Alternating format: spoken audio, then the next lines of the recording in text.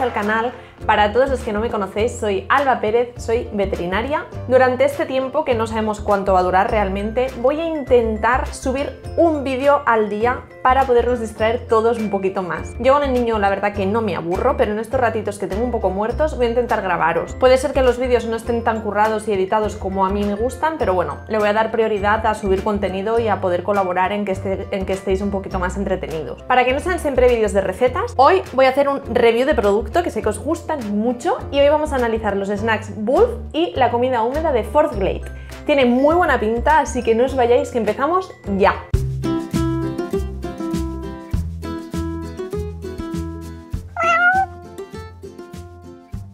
Muy bien chicos, pues vamos a empezar con la alimentación húmeda de Fourth Glade. Tengo aquí tres variedades, eh, la de salmón, la de cordero y la de pavito. Así que vamos a empezar por ejemplo con la de pavo y vamos a ver cómo andan de ingredientes. Vale, ya nos dice, nuestros alimentos son 100% naturales, totalmente libres de rellenos o ingredientes de baja calidad, para adultos de más de un año y es un alimento húmedo completo para perros. Siempre que utilicéis comida húmeda, os debéis fijar si pone alimento completo o no. Cuando pone alimento completo, quiere decir que vuestro animal se puede alimentar exclusivamente de esa comida, pero os tenéis que fijar en que ponga eso, porque hay mucha comida húmeda que simplemente es a modo complementario entonces pondrá alimento complementario para tu mascota. Muy bien, vamos a ver los ingredientes. Primer ingrediente, un 75% de pavo, walla, ¿vale? Patata dulce, un 4%, es el segundo ingrediente. Zanahorias, un 2%. Guisantes, 2%. Minerales y aceite de linaza, 0,5%. Algas marinas, 0,45%. Ojo porque lleva FOS, que ya sabéis que son prebióticos y son muy importantes. Los prebióticos digamos que son como una especie de nutriente para las bacterias buenas del intestino y así mantener correctamente todo lo que es la flora intestinal. Lleva también yuca, glucosamina, condroitina. ¿Qué pasa? Que la glucosamina y la condroitina son condroprotectores. Este alimento ya los lleva incorporado, por lo tanto no es necesario dar un suplemento externo y es perfecto para todos los animales que necesiten este aporte extra para, para proteger sus articulaciones. Y últimos ingredientes, manzanilla, perejil, romero y ortiga. Vamos a analizar los ingredientes que lleva. Por un lado, ingrediente principal, carne, carne de pavo, perfecto. Sabemos que la mayor proporción de ingredientes en los alimentos de nuestras mascotas, en los que son buenos alimentos, va a ser siempre de carne, por lo cual 75% de carne de pavo, perfecto. Es una carne blanda, es una carne que suele digerirse muy bien y la verdad que me parece estupendo, la puede tomar cualquier animal, pero también podría utilizarse en dieta blanda. Siguiente ingrediente, patata dulce o boniato. La verdad que este ingrediente es increíble. Es un alimento que pensad que es bajo en grasas, es rico en vitamina E y por lo tanto es un perfecto antioxidante para nuestros animales. ¿Antioxidante qué quiere decir? Que previene la formación de radicales libres en, los procesos de metabolismo de nuestras mascotas y de las personas y de cualquier cuerpo y por lo tanto reduce las probabilidades de sufrir un cáncer. Además, como es un antioxidante, también va a favorecer un montón al mantenimiento de la piel y del pelo de nuestro perrito o gatito. Pero es que no solo eso, además la patata dulce tiene un montón de hierro y tiene un montón de potasio. El hierro nos va a ayudar para todos aquellos animales que estén en procesos anémicos o por ejemplo estén sufriendo alguna enfermedad crónica que le debilite, el hierro nos va a ayudar a mantenerle fuerte y además el potasio nos va a servir mucho en los animales de alta demanda, puesto que previene todos los calambres, agujetas, lesiones musculares y demás así que también muy aconsejable en este tipo de animales. Las zanahorias y los guisantes sí que son ingredientes que se utilizan más habitualmente en alimento de buena calidad para nuestros animales y destacar que simplemente son muy buen aporte vitamínico, de minerales y de electrolitos. ¿Y el aceite de linaza qué nos va a proporcionar? El aceite de linaza son básicamente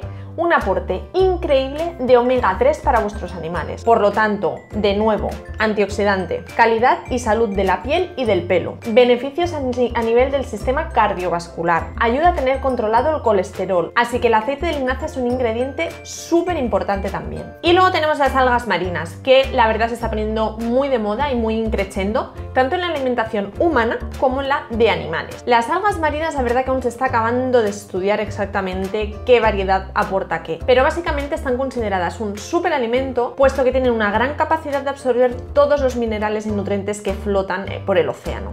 Así que se considera que son sobre todo una fuente muy rica y muy saludable de minerales. Como ya hemos dicho, los FOS son muy importantes como prebiótico y la condroitina y la glucosamina van a ayudar a preservar las articulaciones. Por lo tanto, todos aquellos animales que puedan tener facilidad o tendencia a tener problemas de huesos o articulaciones, como por ejemplo pastores alemanes con tendencia a displasia de cadera, boyeros de Berna con tendencia a displasia de codo, animales mayores que empiecen a tener molestias en toda la espaldita, este alimento nos va a venir estupendamente. ¿Y qué tenemos por último? Pues estos ingredientes que además me parece muy curioso que los incluyan, no es habitual que los metan y tienen muchísimos beneficios. Tenemos la manzanilla, el perejil, el romero y la ortiga. Valga decir que todos son una perfecta fuente de vitaminas, minerales y nutrientes. Pero además la ortiga, aunque no lo parezca, es un excelente antihistamínico. Por lo tanto, en animales que puedan estar sufriendo alergias ambientales o en época de primavera, nos va a venir perfecto para poder ayudar a combatirlo. Así que, ¿qué animales se van a beneficiar? Sobre todo de esta variedad de comida húmeda? Pues por ejemplo, los animales que tengan difíciles digestiones, puesto que el pavo le va a ayudar a que la digestión sea muchísimo más suave. Todos aquellos animales que tengan problemas articulares o tendencia a tenerlos se van a beneficiar de la glucosamina y de la condroitina. Además, aquellos animales que tengan problemas de piel de dermatitis les va a venir perfecto por el tema de la, del aceite de linaza, la ortiga y la patata dulce. Así que aunque cualquier animal va a poder beneficiarse del uso de esta comida húmeda, hay algunos en concreto que se van a beneficiar muchísimo más. Por cierto, luego os enseñaré la textura, pero os digo que el empaquetado me parece ideal, porque si tú no lo quieres gastar entero,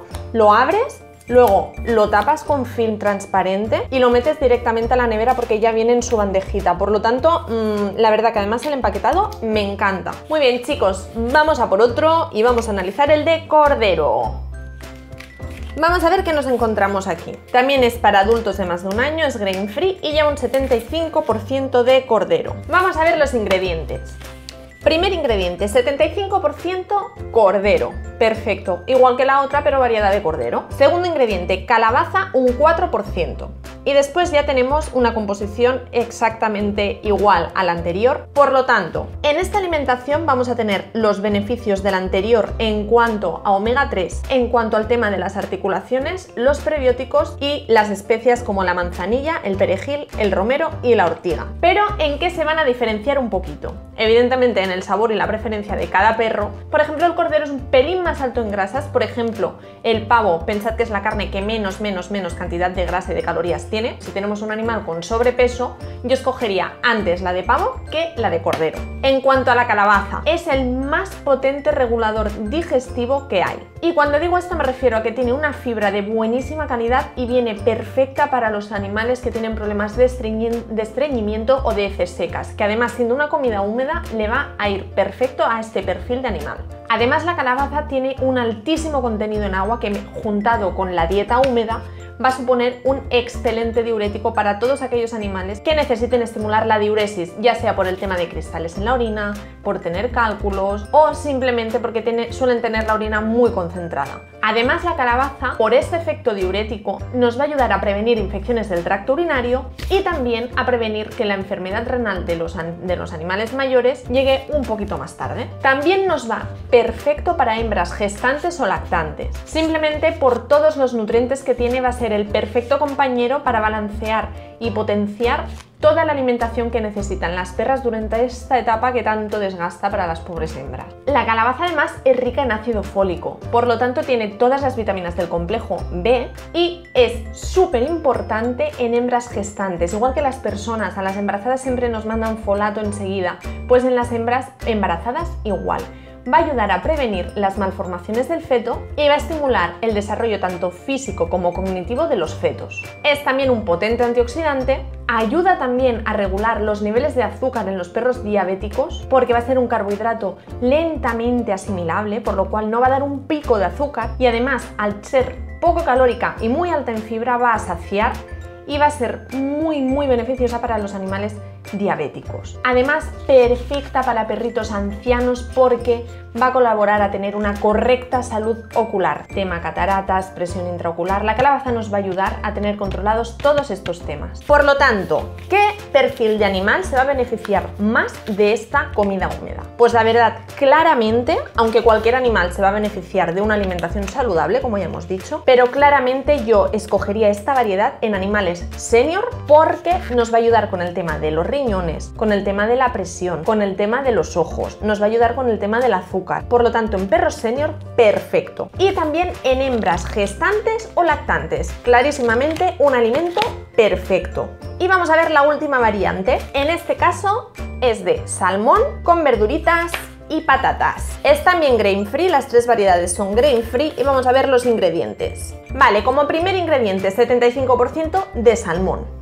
El segundo ingrediente va a ser un 4% de patata y todos los demás ingredientes van a ser los mismos. Por lo, por lo tanto, tenemos los mismos beneficios que en las otras dos, pero vamos a cambiar los ingredientes principales que van a ser el salmón y la patata. ¿Qué beneficios vamos a encontrar en el salmón respecto a la carne? Pues para empezar, todos los que creáis o tengáis conocimientos de medicina china, eh, en cuanto en veterinaria y alimentos, nos dicen que los alimentos fríos como el pescado nos van a ser mucho más beneficiosos en animales que tengan problemas de piel, para calmar todos esos picores y por lo tanto ayudar a combatir las intolerancias alimentarias o las dermatitis atópicas. Además el salmón tiene un elevadísimo pero increíble contenido en omega 3, por lo tanto sigo insistiendo que va a ser perfecto para los animales que sufran de la piel. El siguiente ingrediente es la patata. Ya sé que la conocemos mucho y la usamos mucho, pero seguro que os van a sorprender un montón los beneficios que os voy a decir. Porque, por ejemplo, al igual que con la calabaza, son hidratos de carbono de lenta absorción, por lo tanto no van a hacer pico de azúcar, cosa que también va a ser perfecto un hidrato de carbono así para un animal diabético. Son fuente de fibra y por lo tanto van a regular el tránsito digestivo. Contienen vitaminas pero un montón del grupo B. Contienen además minerales como el selenio y el potasio, que van a ayudar a proteger el sistema cardiovascular, a proteger la musculatura y también sobre todo el sistema nervioso. Y de nuevo es muy poco calórica y alta en fibra, por lo cual también va a tener efecto saciante. ¿Y en qué animales, por lo tanto, utilizaría yo más esta variedad de salmón? Pues lo escogería sobre todo en el perfil de animales diabéticos o animales con problemas de piel repetitivos y pesados. Así que os voy a recapitular un segundo. Tenemos tres variedades, la de pavo, la de cordero y la de salmón. Las tres tienen unos increíbles ingredientes y beneficios, pero si tenéis un perfil de animal con digestiones pesadas, por ejemplo, os voy a recomendar mucho el de pavo. Si por lo contrario tienes un animal diabético o senior, o bien una hembra gestante o lactante, te voy a recomendar el de cordero. Y si tienes un animal que sobre todo, sobre todo, sobre todo tiene problemas de piel y además fuera diabético, el de salmón va a ser tu opción perfecta. Así que nada chicos, yo la verdad que estoy flipando con esta comida no la conocía, es una marca británica y estoy encantada de ver la excelente composición que tienen. Os recuerdo además, ya os lo he dicho por Instagram, pero si entráis en su página web que es www.fortlateshop.es tenéis un 10% de descuento en toda su web solamente tenéis que utilizar el código BETROPÍA. Aprovechad porque tenéis el descuento solamente hasta el 31 de marzo, así que si necesitáis alimentación vía online, aprovechad y cogedla a través de su página web porque vais a poder aprovechar el 10% de descuento. Bueno chicos, hasta aquí el vídeo de hoy. Quería que supierais que siempre hay una opción, una alimentación húmeda, un pienso, todo, todo adecuado a las necesidades de vuestros animales. Y si no lo encontráis, no tenéis más que preguntarme Así que chicos, ya me despido por hoy. Os recuerdo que aún así, si queréis hacer durante estos días snacks caseros, tenéis por aquí una recetita y no os olvidéis de suscribiros al canal si os ha gustado el vídeo. Déjame tu like y nos vemos muy muy pronto.